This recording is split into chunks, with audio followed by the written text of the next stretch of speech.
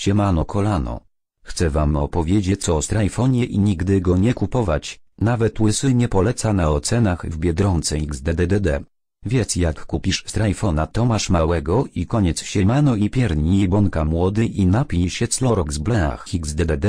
111.